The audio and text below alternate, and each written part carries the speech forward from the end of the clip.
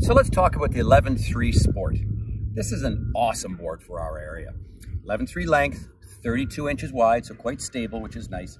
But what really makes this board stand out is the shape of this nose, the tail, in combination with this RSS system. So if we look at the nose on this board, we see something that's a little bit pointed. What that allows for you is a much more stable, smooth ride. Imagine on the sound here, where you've got waves against current sometimes, where the river comes into a tide, you end up with steep waves. It can happen on lakes or rivers or whatever the case is. So when you have those steep waves, if you're paddling a board with kind of a bulbous nose, imagine yourself standing on top of that board, paddling into that wave. When that bulbous nose on some of these other styles of boards hits that steep wave, the board kind of stalls and it stops. And if you're standing on top of the board, you kind of end up sort of over the handlebars.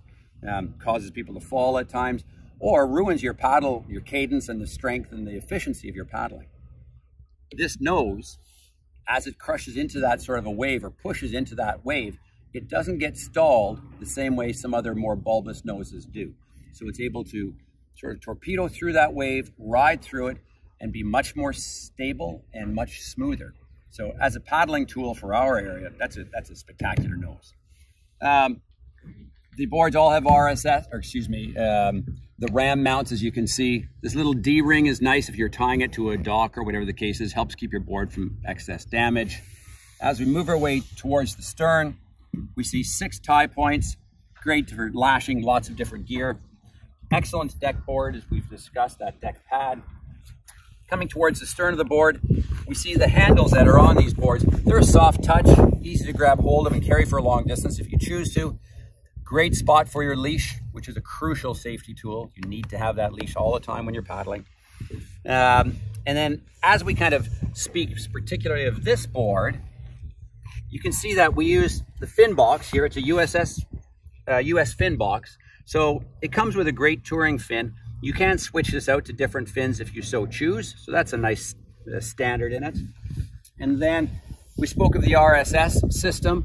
So the RSS system gives this board added stability and added strength. So the 11.3 Sport is an awesome board for our corridor. Combine the nose with this tail, which is kind of a fairly wide tail, as you can see, so lots of stability.